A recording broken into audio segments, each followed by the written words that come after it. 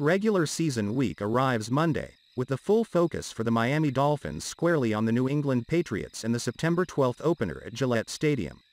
It gives us one last chance to take a look back at training camp, more precisely the top stories of the summer. Here's how we'd rank our top 10. 1. The Howard contract situation. It makes sense that this would come at number 1 considering that Xavier Howard clearly is the best player on the team. This was a story with a happy ending, at least in the short term, though it was unnerving for a while after Howard requested a trade on Instagram. 2. The injuries at wide receiver. The Dolphins assembled all this depth at wide receiver after adding Jaylen Waddle and Will Fuller and with the return of Albert Wilson, and yet we barely got to see the whole group in action together because of injuries to Fuller, Wilson and DeVante Parker and Preston Williams not coming off PUP until late in camp. 3. The joint practices forget about the preseason games against Chicago, Atlanta and Cincinnati. The Dolphins probably got their best work of camp when they practiced with, against the Bears in Lake Forest, Illinois, and the Falcons at the Baptist Health Training Complex. 4. McKinney moves linebacker Benardrick McKinney was viewed as a significant addition to the defense when the Dolphins acquired him in a trade from Houston in the offseason. But things started taking a different tone when it was revealed the Dolphins had restructured, read, cut, his contract in late July and then came the pretty significant surprise of watching McKinney be among the players released in the cut to 53. 5. Offensive trades. The Dolphins have tinkered with their offensive quite a bit over the past two plus years and it's less than certain the desired results are in store. Maybe that's why the team acquired not one but two offensive linemen in trades in the latter stages of camp. Greg Little from the Carolina Panthers and Greg Mancz from the Baltimore Ravens. 6. Another bad break for Biegel.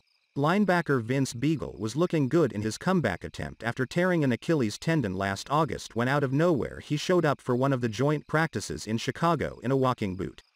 From there, it was another lost season for Biegel, who wound up being put on injured reserve again.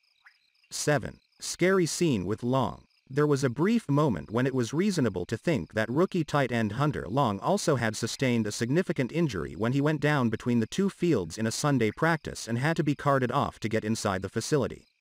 That proved just one big scare because Long was back at practice before too long and even ended up missing only one preseason game. 8. Backing Tua. By all measures, Tua Tagovailoa made strides in his second training camp, but that didn't stop reports of Dolphins' interest in Houston quarterback Deshaun Watson, which led to head coach Brian Flores having to reaffirm last week that Tua was our starting quarterback, followed by a somewhat unnecessary declaration that he would start in week 1 after Flores was asked to confirm that.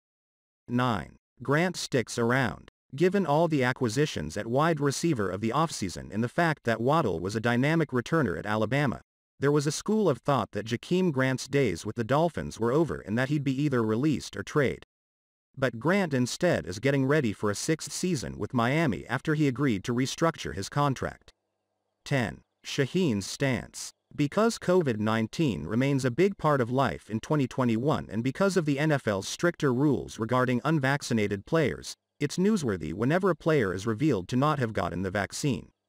That's what happened with tight end Adam Shaheen, who discussed his stance during an early media session and proceeded to be among the most impressive performers at camp before he was sidelined by an injury.